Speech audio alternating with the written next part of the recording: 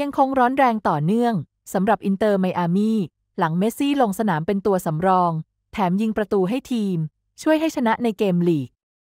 การที่อินเตอร์ไมอามีคว้าแชมป์ลีกคัพและยังมีโอกาสในการชิงชนะเลิศ US Open Cup แสดงให้เห็นถึงความสามารถของทีม ที่สามารถประสบความสำเร็จในการแข่งขันที่มีความหมาย แต่การที่พวกเขาไม่สามารถเอาชนะคู่แข่ง ในเกมเมเจอร์ลีกเป็นเวลายาวนาน แสดงถึงความไม่สอดคล้องของผลงานในลีก และการแข่งขันฟุตบอลถ้วย การที่อินเตอร์ไมอามีได้กลับมาชนะนิวยอร์กเรดบูล2ต่อ 0 ยืนยันถึงศักยภาพ และสภาพทีมที่ยังคงมีดิเอโกโกเมสเป็นหนึ่งในนักเตะที่มีความสามารถในการยิงประตู แต่สิ่งที่สำคัญคือการที่ลีโอเนลเมสซี่ลุกจากม้านั่งสำรองลงมาเล่นทำให้ความเชื่อมั่น และความหวังของทีมเพิ่มขึ้น ไม่เพียงแต่เขายิงประตูได้ แต่ยังเป็นสัญญาณที่ดี